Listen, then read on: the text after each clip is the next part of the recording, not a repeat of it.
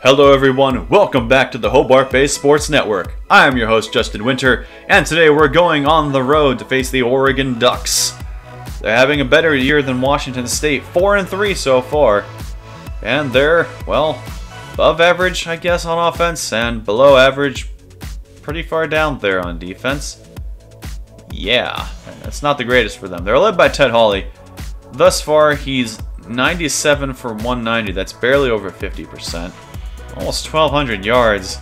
16 touchdowns and 4 picks. He's not exactly lighting up the scoreboard in any respect.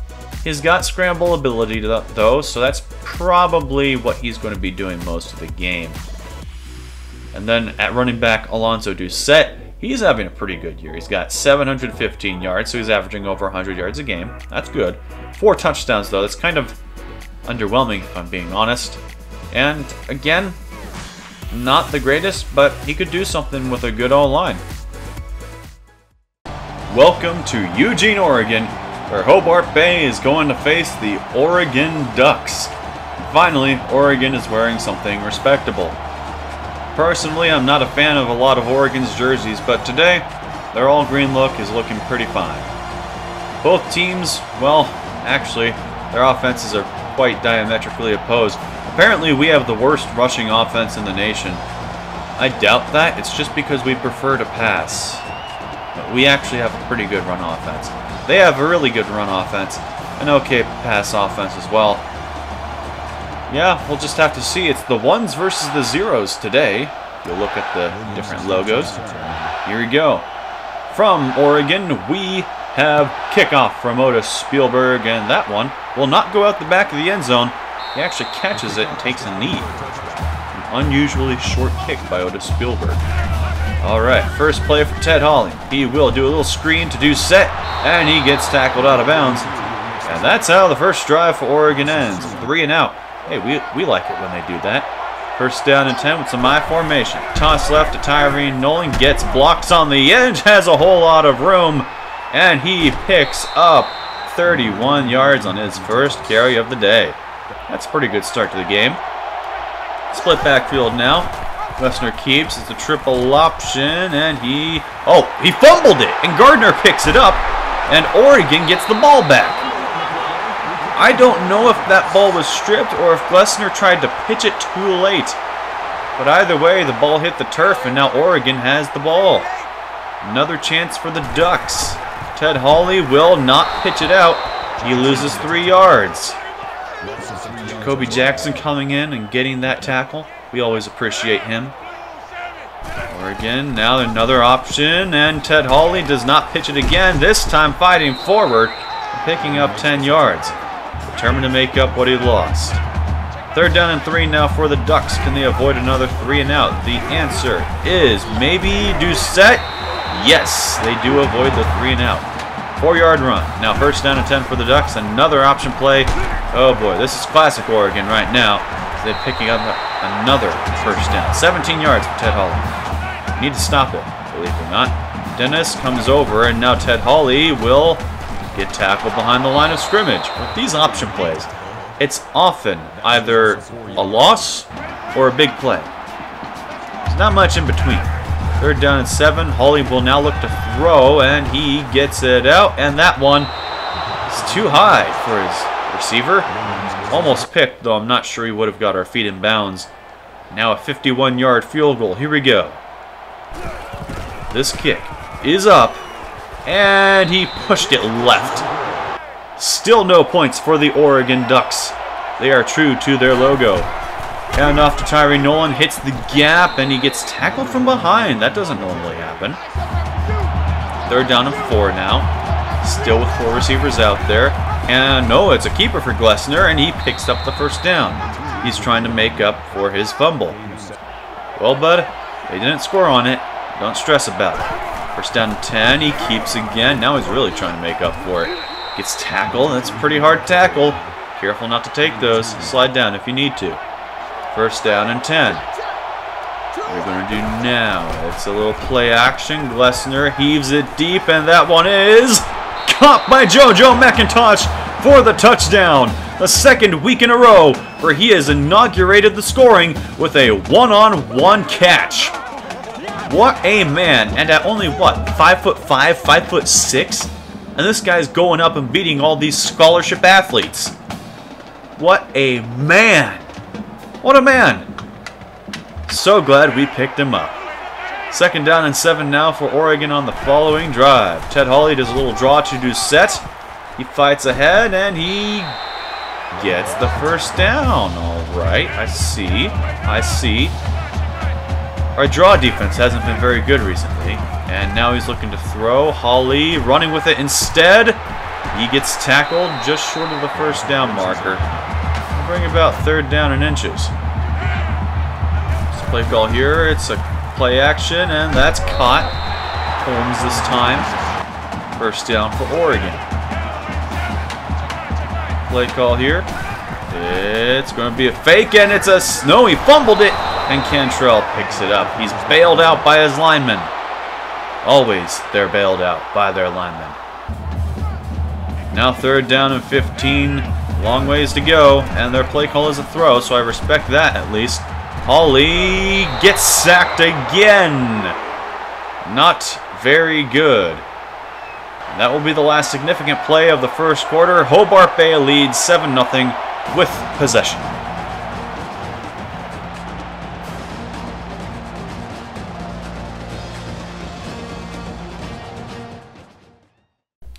Well, we get down to a third down pretty quickly.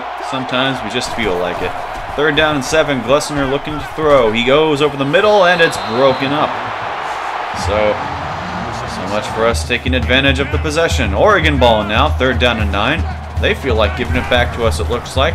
Uh, they're going to go with a little screen now. That's McIntyre. Got the first down with a block. Picks up a solid 17 yards. All right, but it's third down again. Again, split backfield. Let's see what they do this time. And they're going to do the exact same thing. And it's going to be the exact same result. McIntyre, 17 yards. Oh my goodness. It was accurate down to the yards that they got. Now it's second down. Get that, second down this time. Hand off to Spurlock, and he picks up six yards. All right, now that it's not third down and long, they probably won't go with that same screenplay. I was right, they're not. They go over the middle. That's caught by Robinson. What a catch. Gotta respect that. First down and goal. Now they're going to hand it off to Spurlock, get some blocks, and he fights into the end zone. Touchdown Ducks. Oregon with an extra point going to tie in Kent Spurlock. Did he break any records? I don't think so. He's just a fullback, but still, good play for him. Look at that. Great blocking for the O-line there's there's nothing I can say that's bad. I mean, that's just a good play. First down and 10 now for us. We're going to hand off to Nolan on the sweep. He gets the cut. He's tackled after about five. All right, not the greatest run, but it's it's a solid run. Third down and one now. Split backfield. Play call is another handoff to Nolan. He hits the gap and picks up a bunch more for another first down. Second down and nine now. Play call is play action. Glessner looking over the middle. Caught by MacIntosh.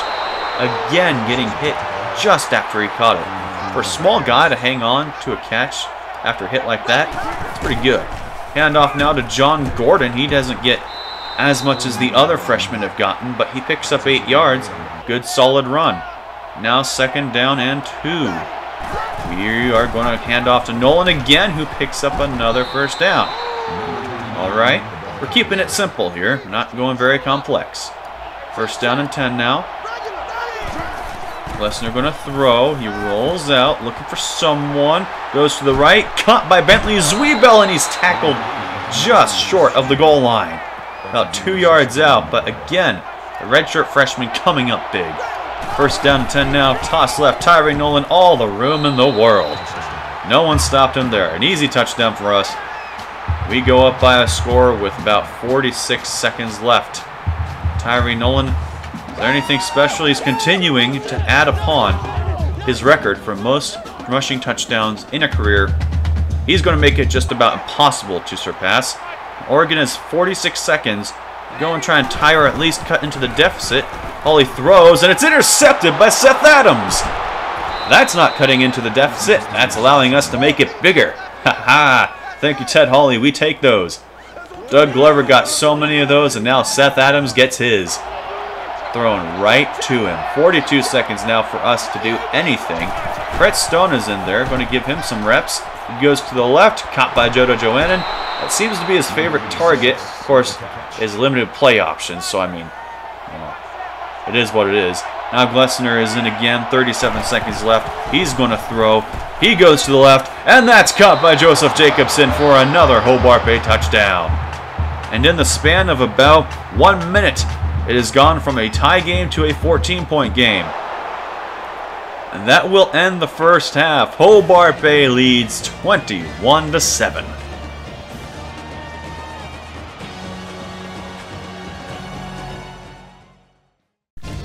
Oregon's defense was pretty good until the end of the second quarter. Their offense was, well, only good when they can throw screen plays on third down and long. That's honestly all it was. They haven't impressed me very much today, and I was hoping for something like that. We would like, you know, not to give our fans another heart attack, but sometimes we just can't help ourselves. Now, I forgot to start recording when this half started, so here's what happened. We, uh, we got forced to punt. When we punted, they uh, sort of muffed it, and then we recovered at about the 25-yard line. So that's where we are. That's where we are. First down and 10 now. Let's get this thing going. And we are going to throw to start Glessner over the middle to Joseph Jacobson. Had some room. It closes quickly. First down and goal now from about the seven-yard line. And it's an empty backfield now. Glessner looking for something. He will run for it, and somehow, somehow, he got out of that blob and made it to the end zone. I don't know how that works, but it works. We'll take it. Touchdown for us. But my God, look at this. He just runs in there, and it's like a crowd in New York City when they say go ahead and walk. Wow. So now Oregon's down by three scores. Let's see how they go. Williams gets the first carry, and he picks up a first down with room ahead. He's chased down by, looks like, Dane Burns. Now second down and six. And they're going to bring Dennis in motion. They're going to hand off to Doucette. He will pick up five yards. Okay, it's a good chunk. Third down and one. Now Dennis in motion again. And that's a broken play, but Hawley still gets the first down. Don't know what they were trying to do, but it worked. Second down and nine.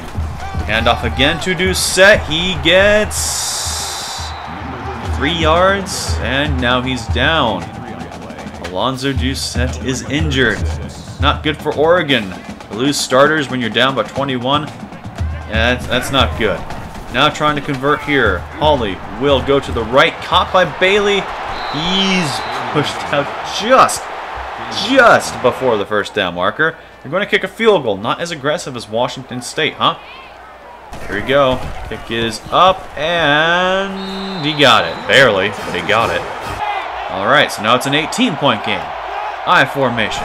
Glessner, play action, looking. He goes to the right, caught by Jodo Joannan. First down and 10 at about the 42-yard line. Good play by him. Now a split backfield. I'm going to adjust the play again. We love calling audibles. Glessner to the right, caught by MacIntosh. Can't quite outrun the defender. Nevertheless, it looks like our offense, after the end of that second quarter, we've regained some momentum. Now Zwiebel, play action to him. Glessner just gets it out and caught by Nolan. He's tackled just short of the five-yard line. And, oh, that's something big. Tyree Nolan now has the career receptions record. Receptions. Tyree Nolan has more catches than Bubba West. And Bubba West is a wide receiver. Tyree Nolan is a running back. I think everyone can agree he is the best receiving back probably in college football history, and why not celebrate with a rushing touchdown? That only makes sense. My goodness, Tyree Nolan, you are something else. The most rushing touchdowns in college football history, continuing to add to that record. over a thousand yards rushing. I think three of four years, if he can get it this year. If he can get it this year, make that caveat. Hawley now throws to the left. That's caught by Pitts. 13 yards. First down and 10 now. Oregon, they, they gotta get this. They, they have to score here. That one's caught by McIntyre. It's tackled short of the first down. Greatest play. Now, Hawley looking, he goes to the right, caught by Holmes. It's the first down. Not playing like a team that's down by 25. Now they're going to throw again. Hawley's going to run with it instead. He slides down, gain of seven. Alright. Sure taking their time. If I were them, I'd put a little more pep in my step. Hawley gets sacked now. Loss of seven. Loses all the yards he just got. Dane Burns gets that sack. Now third down and 10. What is their response to that sack? Well, we're going to try for a throw. It's a little screen. They're not throwing it, and Hawley takes another sack. Loss of eight. Saw Sage getting his own there. And that will be the end of the third quarter. Hobart Bay gets the ball with a 25-point lead. I think this one is pretty much done.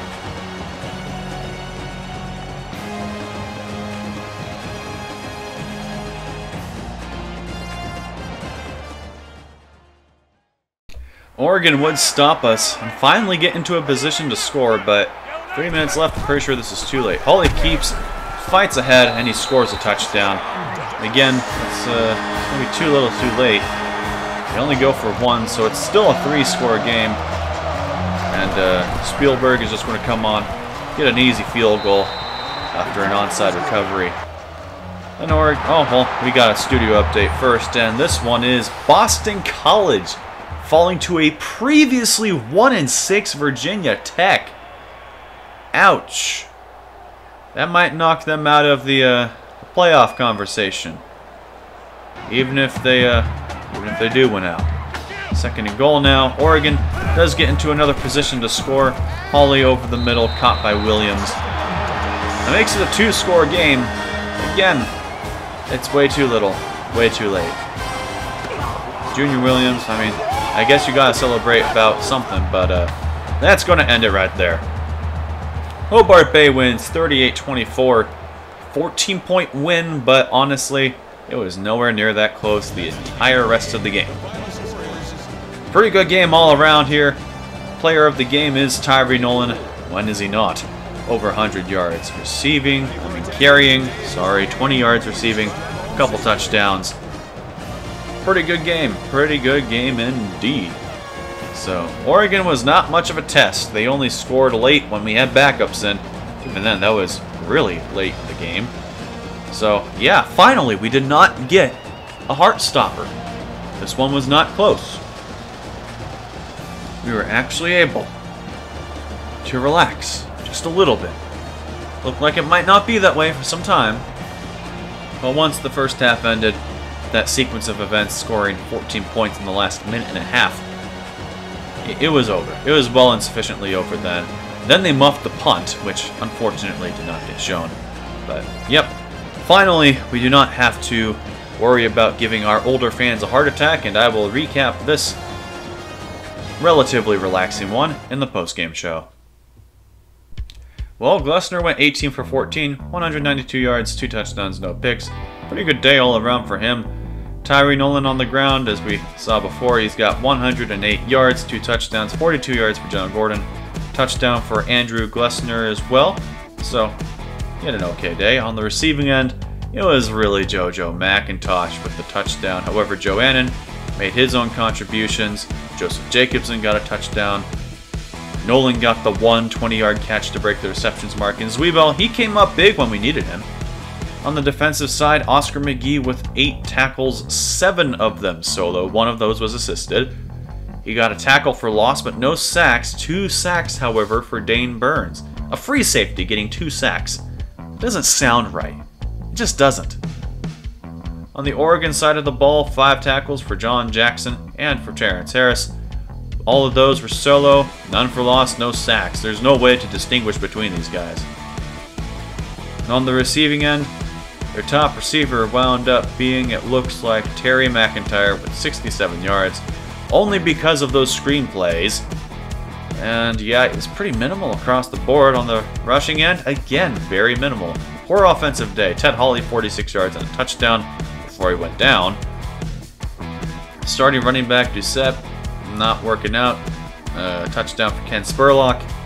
A lot of different guys got runs though, so they spread the ball out. And through the air, 21 for 25, 195 yards, that's more than I thought he had. A touchdown and a pick, but he took four sacks. So that doesn't help. And uh, yeah, I missed the uh, box score, so we're just going to the Oregon State game. I hope to see you there, but until then, make sure to like and subscribe, hit that notification bell, and have a nice day.